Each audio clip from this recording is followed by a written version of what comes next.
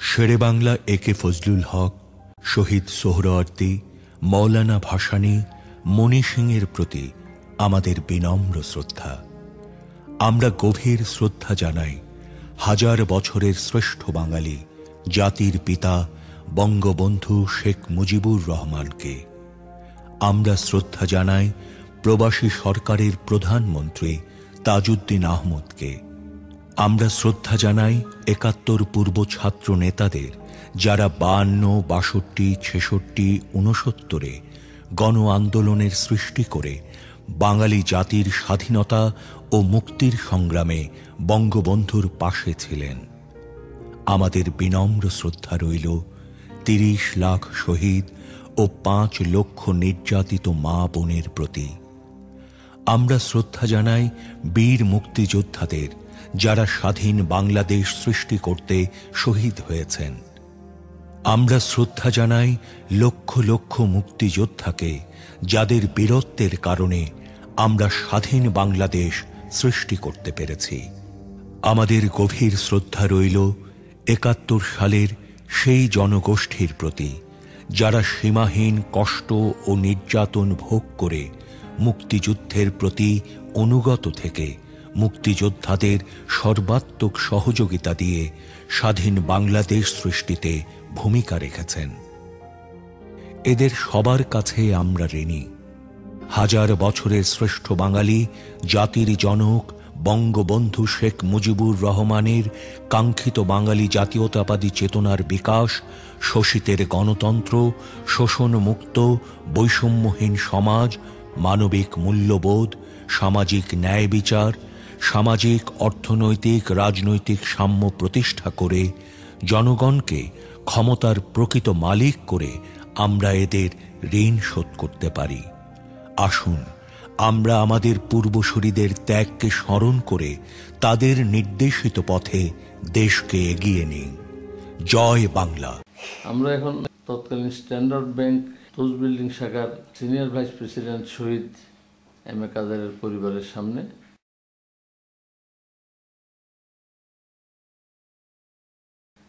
আমরা জানতে চেষ্টা করব যে সেদিন কি ঘটেছিল ওনারা কতটুকু জানেন এই বিষয়ে? এম কাদের সাহেবের স্ত্রী? এম কাদের সাহেবের মেয়ে না? আমি বড় মেয়ে। শাহিনা নাজনি ওনার ছোট মেয়ে জি। ওনার বাড়ি কোথায় ছিল কাদের সাহেবের? চট্টগ্রাম। একাত্তর সালে আপনারা কোন বাসায় ছিলেন? আমরা ছিলাম আব্বা তখন ব্রাঞ্চ ব্যাংকেই ছিলেন। আমাদের বাসায় তখন ডিসি মুস্তাফিজ রহমান ছিলেন তৎকালীন ডিসি আমাদের চিত্রাঙ্গে তারপর ফরেস্ট ফরেস্টের কনজারভেটর তারপরে ডিসি এরা সবাই আমার আব্বা শেল্টার দিয়েছিলেন তখন, আমাদের বাসায় দেব পাহাড়ে। তো আমরা সবাই অপেক্ষা করছি, আব্বা আসবে, দেখি যে আব্বার গাড়িটার সামনে, তার পিছনেই আর্মিদের গাড়ি। কি ব্যাপার, তখন আব্বা ঢুকে এসে একটা ব্রিফ কেসে কিছু কাপড়ে বলে, যে, আমাকে অ্যারেস্ট করা হয়েছে। স্বাভাবিক আমরা তখন কান্নাকাটি শুরু করে দিয়েছি। বাকি যারা ছিলেন মুস্তারির ওনারা কথা বলেছেন ওদের সাথে আর্মিদের সাথে। আমি জানি যেহেতু আমিও ছোট ছিলাম তেরো বছর বয়স ছিল আমার তখন তখন ওনারা বললেন যে না না না ওনাকে আমরা অ্যারেস্ট করে আবার পৌঁছাই দিব কোনো অসুবিধা নেই। আর ওনাদের রেখে গেছেন? ওনাদেরকে কিছু করেননি ওনাদেরকে কিছু করেননি কিন্তু আমরা যেটুকু জানি যে যখন ডিসি কে আব্বা নিয়ে আসছেন তখন খুব খোঁজাখুঁজি হচ্ছিল ডিসি কোথায়? মানে চিটংয়ের ডিসি কোথায়? তখন আমার আব্বা নাকি মানে সার্কিট হাউসে বা কোনো এক জায়গায় যে বলেছিলেন যে আমি ডিসিকে দিতে পারি খুঁজে কিন্তু ওনার লাইফ ইয়েটা দিতে হবে আপনাদেরকে। তো এটা আমি চাচার কাছেই গল্প শুনেছি। মুস্তাফিজুর রহমান চাচাই বলেছেন কথাটা আমাকে যে উনি উনি চলে গেলেন আমাদেরকে সবাইকে নিরাপদে রেখে মাঝখান থেকে উনি হারিয়ে তখন আপনি কোথায় ছিলেন? আম্মা জি আপনি ছিলেন আপনার সামনে নিয়ে গেছেন। এপ্রিলে প্রথমবার নিয়ে গেছে তারপরে সেকেন্ড থার্ড মেতে কিন্তু অফিস থেকে নিয়ে গেছে। আবার ফেরত দিছে। না প্রথমবার ফেরত এপ্রিলে ফেরত দিল। আপাকে তো নিয়ে গেল। কিছুক্ষণ পরে আমার কাছে আমাদের ফোনে একটা ল্যান্ড ফোন তো তখন তখন ফোন করে বলল যে চিন্তা করেন না ওনাকে আমরা পৌঁছাই দেবো। ওরা পৌঁছাইও দিল। তখন ওখানে ছিল বাবা গল্প করছিল যে ওখানে আমাদের জাকির হোসেন সাহেব ছিলেন ওনাকেও নেওয়া হয়েছে। তারপরে বলছিলেন যে ওনাকে খুব ইয়ে লাঞ্ছনা করা হচ্ছিল দেখে খুব খারাপ লাগছে আব্বারা কিন্তু চাচা চাচা ডাকতো না ওনাকে। জাকির হোসেন মানে কোন Zakir Hossain? Governor Zakir Hossain.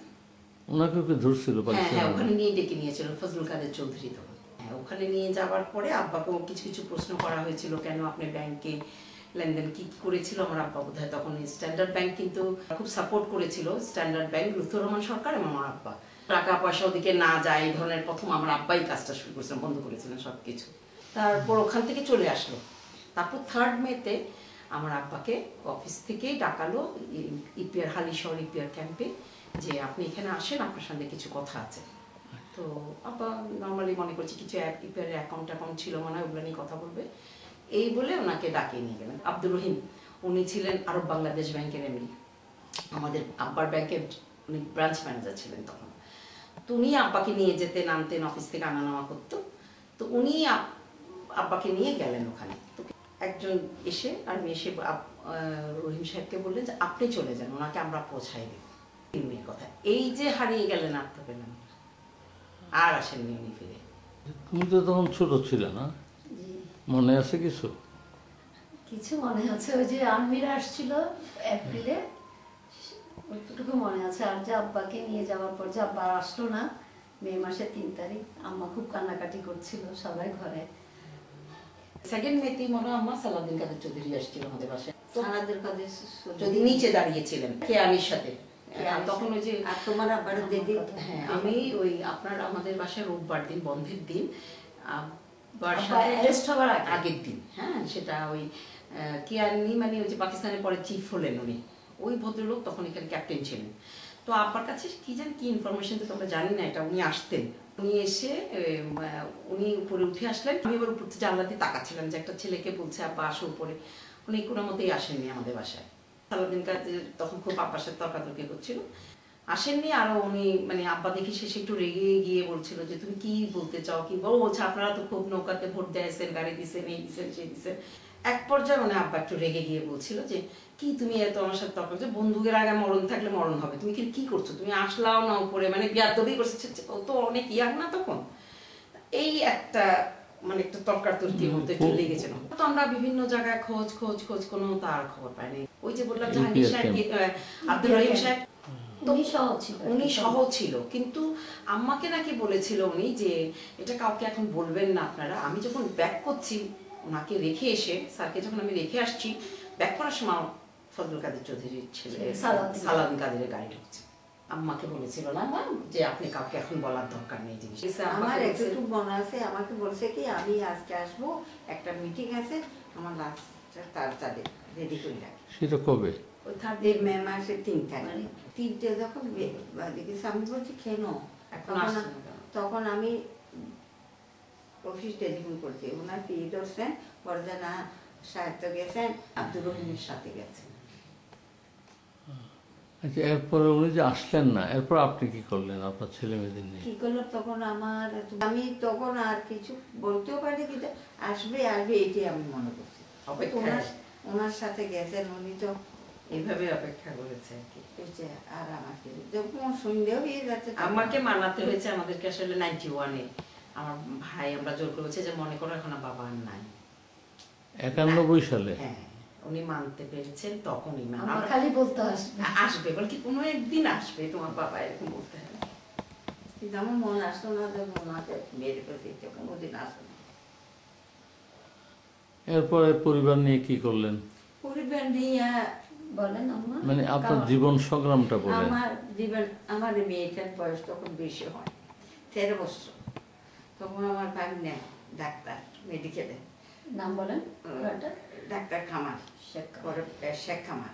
ENT doctor. ENT doctor. তখন উনি বললে যে মধ্যে কেউ বলছে যে মেয়েকে বিয়ে দিই তো তুই তো আত্মীয় স্বজন কেউ কেউ বলছে তো আমার আমি যে না আমার মেয়ে দেবো না। পারবে সেই বলছে না উপযুক্ত তো অনুপযুক্ত ওইটাই বলতেছে। তখন আমি বলছি না তখন আমার ভাগ্নে বলে যে আমি কর ওর সাথে ওর এই তারপরে নয় মাস এইভাবে কাটলো? না বা সেভাবে কাটছে। আমার ছেলেও ছিল না ছেলে তখন ছিল কুমিল্লা ক্যান্টনমেন্ট পাবলিক স্কুল ও ম্যাট্রিক ম্যাট্রিক পরীক্ষা দিয়েছে। ও ও কোথায় ছিল তখন? কুমিল্লাতে। আসেনি নয় মাসে? তারপরে আসছে। তখন আবার ওই যে কুমিল্লায় তো আপনার চিনতেন তো ডাক্তার সুলতান আহমদ চৌধুরী। ওনার উনি আমাদের চাচা। তো ওনার ওনার ওনার ইয়েতে ছিল। কিন্তু ওনাকেও তো তখন অ্যারেস্ট করেছিল। উনিও জেলখানায় ছিলেন। তো ভাইয়া ওখানেই ছিল। তারপরে যখন যোগাযোগ ব্যবস্থা হলো তারপরে ভাইয়া চলে আসছে আর কি। মেবি তখন ধর না জুলাই টুলাইয়ের দিকে ভাইয়া চলে আসছে হয়তো। মানে কাদের সাহেবকে ধরে নেওয়ার পরে? হ্যাঁ হ্যাঁ হ্যাঁ।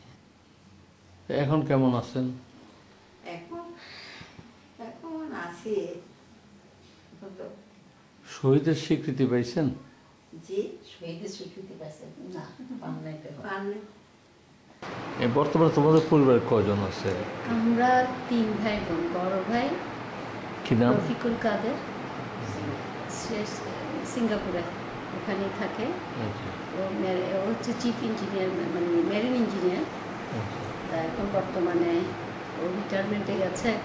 মানে একটা মোবিল একজন মোবিলে একজন মোবিলের ছিলেন। তারপর হচ্ছে হ্যাঁ। আপা নাসরি তারপর আমি শায়না রাজা তুমি কি? তুমি কে বলে? আমি নানা শাশুড়ি আচ্ছা। ওনার ছোট নাতি ফারলিন ছোট নাতি কি নাম? শেখ ফারহাদ খান কামরুলের ছেলের বউ। কোথায় আছে এখন?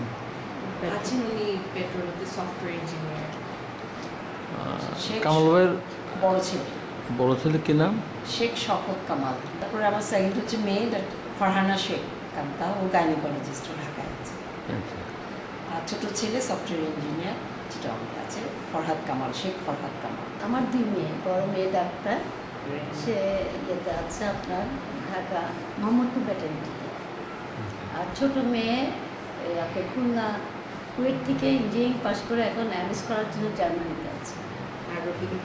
আর আমার ভাই রফিকুল কাদের ওরও এক ছেলে এক মেয়ে। বড় মেয়ে ফিনান্সের উপর মাস্টার্স করে এখন চাকরি করছে সিঙ্গাপুরে। আর ছোট ছেলে ইঞ্জিনিয়ার। সেও।